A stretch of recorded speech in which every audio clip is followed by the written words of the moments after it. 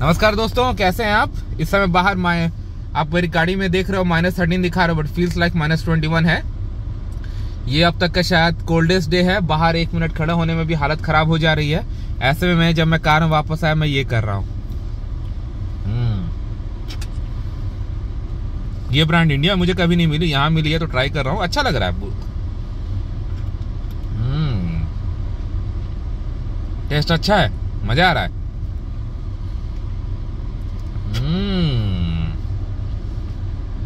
काफ़ी मज़ेदार है। बट आपके ऊपर है। आप ऐसी स्टूबिडिटी ना किया करो जैसा मैं करता हूँ कि बाहर ठंड है, फिर भी अंदर और ठंडा पी रहा हूँ।